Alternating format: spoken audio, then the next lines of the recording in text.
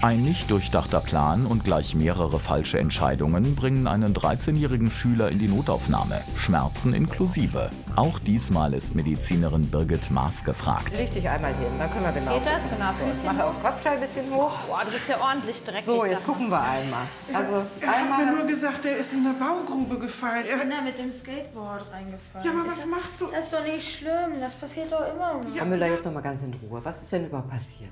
ja, er wohnt ja jetzt gerade im Moment bei mir und er, ist, er ist nicht aus der Schule gekommen. Ich habe Reibekuchen gemacht, weil das sein Lieblingsessen ist. Ich mache ja immer gerne alles für ihn. Und er kam aber nicht aus der Schule.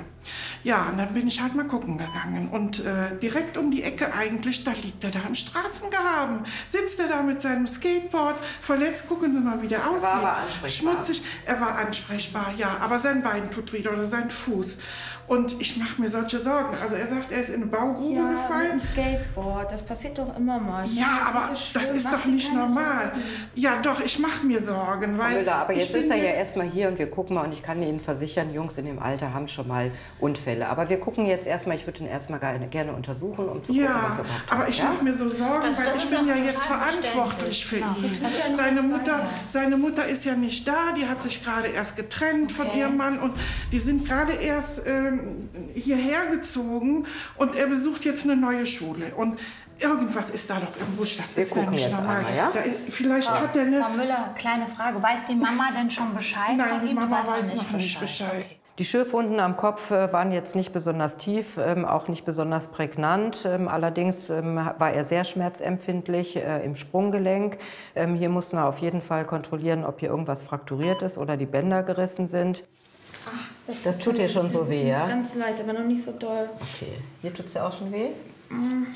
Also wir können jetzt hier noch keine Hämatome sehen. Ähm, aber nichtsdestotrotz würden wir das einmal röntgen, weil gerade hier in dem Bereich, äh, klar, die Knochen sowieso, da kann natürlich was gebrochen sein. Ähm, aber hier sind auch ganz, ganz viele Bänder, die das Gelenk so ein bisschen zusammenhalten. Ne? Ohne die Bänder würde das gar nicht so gut funktionieren. Und das kann natürlich sein, dass die Bänder hier gedehnt sind oder gerissen sind. Es kann aber auch sein, dass hier das Sprunggelenk gebrochen ist. Deswegen machen wir auf jeden Fall ein Röntgen. Frau Doktor, ich habe irgendwie Bedenken, dass da irgendwas nicht, nicht, nicht stimmt. Also der, man hat mir ja gesagt, also meine Nachbarin hat mir erzählt, dass die Schule keinen besonders guten Ruf hat, in die er jetzt geht. Und ich habe so eine Angst jetzt, dass äh, vielleicht wird er ja gemobbt von den Klassenkameraden nein, oder musstest du eine Mutprobe machen oder so. Das ist also ich habe so, Ich bin nur ganz so eine normal Angst und mir Skateboard wie Sorgen. jeden Tag. Ich glaub, Frau das Müller, das sich können wir aber, das klären, können wir ne? jetzt hier gerade nicht klären. Was Ja. für uns wichtig ist, ist zu klären, ob jetzt hier im Fuß was gebrochen ist Ja. ne, und wie es dir denn sonst auch geht. Ähm, zum Beispiel, ähm, kannst du alles noch richtig sehen oder hast du irgend oder hast du im Mund hast du auch nicht irgendwas Ich habe Besonderes? ganz leichte Kopfschmerzen. Ganz leichte Kopfschmerzen. So Übel hast du gesagt. Ja, weil du die packst dir da gerade so an den. Ja, Bauch. alles gut. Ähm, hast du denn was Falsches gegessen oder war das Nee. jetzt die Übelkeit war danach erst? Ja. Okay, also nochmal. Wir klären das natürlich ab, Frau Müller. Gut Ja. wäre, wenn die Mutter auch Bescheid weiß dann Ja. ähm, und vielleicht auch herkommt, denn äh, ich würde ihn gerne hier äh, für 24 Stunden stationär aufnehmen. Ich kann Ja, auch okay. erklären, warum. Ähm, momentan geht es ihm ja gut, aber wenn man auf den Kopf gestürzt ist, kann es immer wieder ähm, dazu Ja, kommen, dass klar. zeitverzögert irgendwelche Probleme auftreten und da wollen wir natürlich direkt eingreifen, wenn es soweit ist. Und deswegen würde ich sagen, fahren wir jetzt erstmal zum Röntgen. Ich war mir ziemlich sicher, dass Elias hier was zu verheimlichen hatte. Ähm, da hatte ich genau das gleiche Gespür wie seine Oma. Ähm, für mich war natürlich jetzt auch wichtig, was war jetzt tatsächlich an Unfall passiert. Du bleibst bei deiner Aussage, du bist in, der, in die Baugrube Ja, gefallen. mit dem Skateboard. Mit dem Skateboard. Hab mal nicht aufgepasst. ist das Skateboard denn noch ganz? Ich glaube schon. Gut, das ist ja schon mal etwas. So, jetzt gucken wir mal, ob der Fuß noch ganz ist. Wie es danach weitergeht, hängt von der Diagnose ab. Während Elias Oma Helga ein paar Sachen für ihren Enkel holt, wird der 13-Jährige nach dem Röntgen stationär aufgenommen. Lange allein bleibt der Neuzugang in seinem Patientenzimmer allerdings nicht. Hallo Elias. Ah, du hast ja schon Besuch. Ja, ich bin ein neuer Klassenkamerad. Ah, das ist ja toll, dass du dann gleich sofort mit dazugekommen bist. Bei dir alles soweit so weit in Ordnung? Okay, dann gucke ich noch mal hier hin. Sag mal, was ist das Ding? Ich weiß nicht. Ich glaube schon, aber keine Ahnung. Es war schon recht merkwürdig, dass der Elias mit seinem Freund ähm, so getuschelt haben Irgendwas war da im Busch. Ich habe nur verstanden, irgendwie das Ding, hast du das oder irgend sowas? Ich konnte mir keinen Reim draus machen. Ach, du hast ja einen Freund da. hallo, ein Klassenkamerad. Ja, ich bin der Tobias. Ah, hallo Tobias. We weißt du vielleicht was, was dahinter steckt? Der lässt sich ja alles aus der Nase rausziehen. Also das ist... Also, ich weiß nichts. Du weißt auch nichts, was Mhm. da passiert ist. Ja, meine Güte, hör mal, äh, verstehe ich überhaupt nicht. Mach mir so Sorgen jetzt. Also, du wirst, wird der vielleicht gemobbt von irgendwelchen Klassenkameraden? Nee. Weißt du auch nicht. Oder habe ich ja eben schon mal gefragt, eine Mutprobe vielleicht. Musstest du irgendwas machen? Was? äh, Ja, das macht doch nicht einfach so, ne? Aber ich hab, ich hab, Ach, das ist unsere Ärztin. ich hab Genau, die kommt auch mal. Kuchen mitgebracht. Ähm, das darf er aber jetzt leider nicht essen. Sie können das gerne hier lassen, aber ihm war ja vorhin nicht so gut Ja, und ja, ähm, okay. wir wissen ja noch nicht, ob das jetzt von dem Sturz Ja, kommt. du ne? die gleich essen, ne? Aber es, sie riechen auf jeden Fall fantastisch, das kann ich schon mal sagen. Genau, das wollen wir gleich Ähm. Elias, an dem Fuß, da war jetzt nichts gebrochen. Das ist eigentlich ganz gute Nachricht. Aber es tut natürlich noch schrecklich weh, weil, wie ich vorhin gesagt habe, man hat ja auch noch jede Menge Bänder. Ne? Und ähm, wir gehen da jetzt von einer Bänderdehnung aus. Das heißt, ähm, das wird sogar fast ähnlich äh, wie eine Fraktur behandelt. Ähm, du wirst das jetzt äh, die nächste Zeit erstmal ruhig stellen. Ne? Du hast ja auch schon so eine Bandage da drum. Ähm, gucken wir jetzt, ob das noch anschwillt. Ansonsten ähm, habe ich ja gehört, Pupillen war jetzt unauffällig alles. eigentlich soweit alles Was machen denn die. Kopfschmerzen? Mm, sind ein bisschen besser geworden. Das ist auch schon mal gut. Und Besuch hast du auch, sehe ich gerade. Ja. Ja, das ist doch perfekt. Ne? Warst du jetzt auch mit dabei? Äh, nee. Ich habe nur gehört, dass er halt jetzt hier ist und dann wollte ich mal besuchen. Okay, wenn sonst weiter nichts ist, wie Ich gesagt. kann, die, ich kann die Reibeplätzchen auch gerne Ja. da drüben hinstellen. genau, Dann gucken wir mal. Ne? Ich stell die mal an dein Bett. So. perfekt. Was hast du denn da? Oh, das sieht Setz aber... dich noch mal gerade hin. Setz dich mal bitte hin. Was ist denn da passiert? Das ist so ein bisschen. Da sind aber ist ein Fremdkörper drin. Ach du je, das sind Dornen drin, ne? Ja, Das sollten wir uns aber noch mal angucken. Na, jetzt haben wir noch einen Verletzten hier. Das ist aber komisch. Ja, du, das würde ich mir ganz gerne angucken. Ähm, aber vielleicht rufen wir dann vorher deine Mutter mal wie alt bist du? Du bist doch auch erst... 14. Da müsste ich aber deine Mutter mal eben anrufen, Ja. wenn unsere Ärztin was machen will. Hast du da irgendwie eine Telefonnummer von deiner Mama? Der Tobias hat ja lange seine Verletzung am Bein verheimlicht. Und da habe ich mir gleich gedacht, also äh, das hat mit Sicherheit auch mit Elias Verletzung was zu tun. Aber die Jungs haben geschwiegen, die haben nichts dazu gesagt.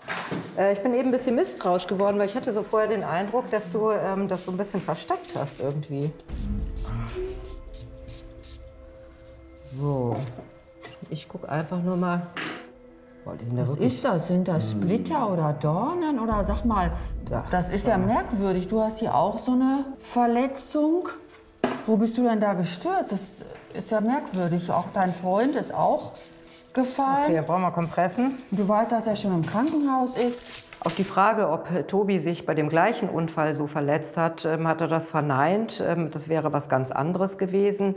Ich muss aber schon sagen, natürlich kriegen wir es raus, was hier das Problem ist. Aber mit der Hilfe des Patienten wäre es sehr viel schneller äh, gegangen. Und manchmal spielen wir eben auch gegen die Zeit. Ihr wart doch zusammen unterwegs. Guck mal, das ist genau der gleiche Schmutz. Ja. Dann hast du eben so die Wunde verdeckt. Entschuldigung. Und ich glaube einfach, dass ihr was verheimlicht. Ich bin auch eine Mutter, ich rieche sowas. Ich habe davon auch so komisch getuschelt, da habe ich doch auch gefragt. Okay, Schweigen ist manchmal Ja, auch viel. Scheinbar willst du da ja nichts zu sagen. Ähm, die Dornen, die sind draußen. Das ist natürlich immer ein bisschen gefährlich, ähm, weil die Dornen ja natürlich nicht ganz sauber sind. Und wenn die so richtig unter die Haut gehen, ähm, dann kann das da sich richtig infizieren. Ja, das kann sogar, wenn man das nicht behandelt, echt bis zu einer Blutvergiftung äh, gehen. Deswegen war das jetzt ganz gut, dass wir die rausgezogen haben. Du musst aber jetzt die nächsten Tage gucken, das werde ich deiner Mutter auch gleich noch sagen, ob sich irgendwas entzündet, ne? ob das rot wird, heiß wird, dick wird.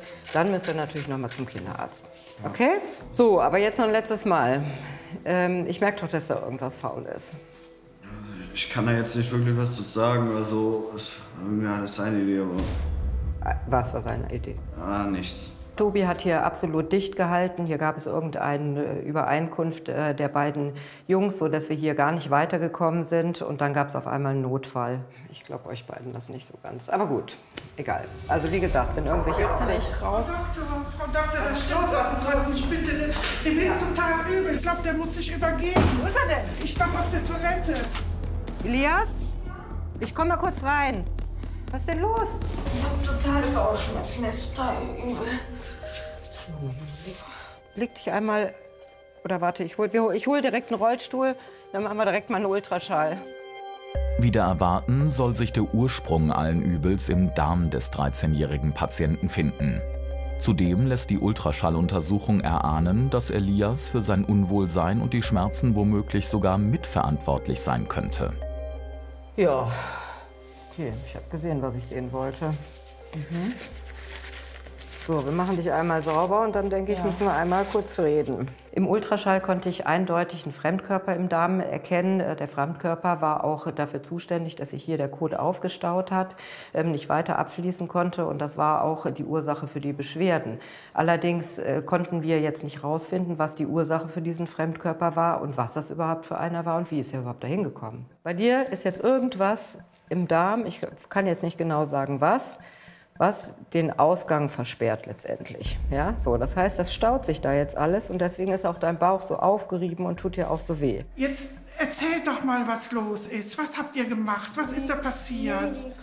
Wir müssen jetzt natürlich überlegen, wie wir das weitermachen. Also du bekommst jetzt von uns erstmal einen Zugang, wenn du das gleich machen würdest, wäre gut. Okay. Und dann geben wir dir ein bisschen Medikamente, ja.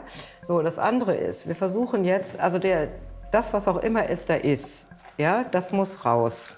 So, das heißt, wir versuchen das jetzt auf natürlichem Wege rauszubekommen. Äh, das heißt, du bekommst von uns ein bisschen was zum Abführen.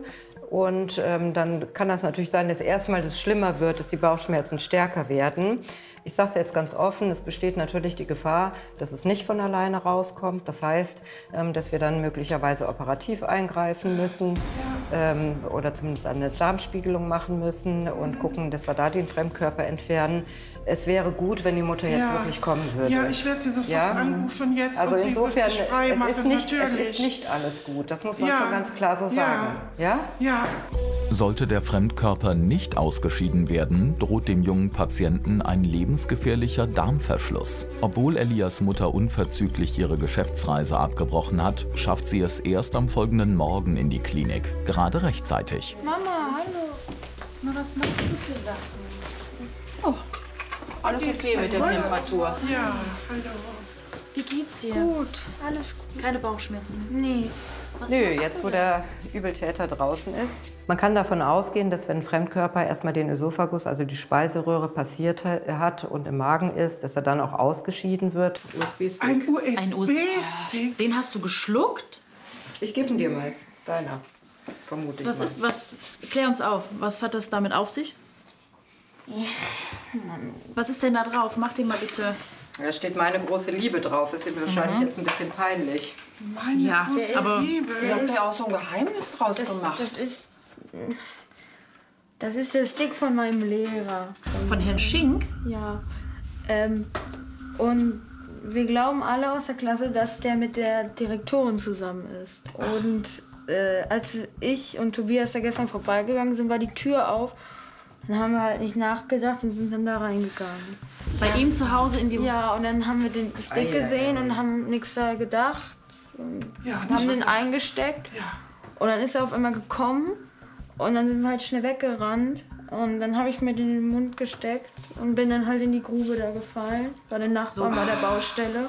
Wie kommt man auf so Gedanken? Und hast den dabei verschluckt? Ja, aber habt hier ist der Beweis, dass da die Lehrerin drauf ist. Aha. Ja, Was, was hast du denn gehofft, was du darauf findest? Warum? Wolltet ihr dem Lehrer eins auswischen? Oder? Motorrad? Der funktioniert noch? Hier. Außergewöhnlich. ja, jetzt weißt du, was die große Liebe von ihm ist. Motorräder? Das hätte ich dir auch vorher sagen können. Der ist doch so ein Motorradfan. Ich habe gedacht, da ist die Direktorin drauf. Ja, ihr kommt auf Ideen. Jetzt sitzt die Direktorin ja auf dem Motorrad. Nee. Nee, da Nee. sitzt keiner drauf. Das sind nur die Motorräder. Weißt du, Geheimnisse kommen immer am Ende raus. Ja, lieber sofort sagen. Und Hat äh, er Angst, dass, äh, dass ich Ärger, bekomme? Das ist ja schon ein Einbrechen oder Ja. so. Gut, also pass auf, das ist ja das eine, was hinter diesem Stick steht. Ne? Aber das war schon echt richtig hart gefährlich. Elias hat sich ja den USB-Stick in den Mund äh, genommen, um ihn verschwinden zu lassen. Das ist ihm auch unfreiwilligerweise gelungen. Er hat ihn nämlich heruntergeschluckt. Ähm, hierbei gibt es aber mehrere Gefahren. Einmal kann es natürlich sein, dass er gar nicht in die Speiseröhre gelangt, sondern in die Luftröhre, ähm, was im schlimmsten Fall direkt die Luftzufuhr abgeschnürt hätte, was äh, den Erstickungstod bedeutet hätte. Aber auch, ähm, wenn der Fremdkörper den Weg durch, den, durch die Speiseröhre findet, ähm, gibt es hier Engstellen, wo er hängen bleiben kann, Verletzungen äh, zuführen kann. Ähm, das ist also nicht ohne unverdauliche Fremdkörper im Mund verstecken zu lassen, ist keine gute Idee. Ist echt gefährlich, ja. Gerade so Fremdkörper, die nicht äh, zu verdauen sind, die können immer irgendwo hängen bleiben und wirklich auch ganz fiese Verletzungen verursachen. Stell dir mal vor, du hättest jetzt noch operiert werden müssen. Ja. Ja. Für sowas, für so einen Quatsch. Da bin ich ja froh, dass es noch so glimpflich abgelaufen ist. Darf ich denn jetzt endlich mal die Reibekuchen essen? Ja. Geht's dir dann wieder besser? Elias hatte Glück im Unglück, sowohl medizinisch als auch privat. Die Bänderdehnung wird in den kommenden Wochen abklingen und nach einer aufrichtigen Entschuldigung des Teenies verzichtet sein Lehrer auf eine Anzeige.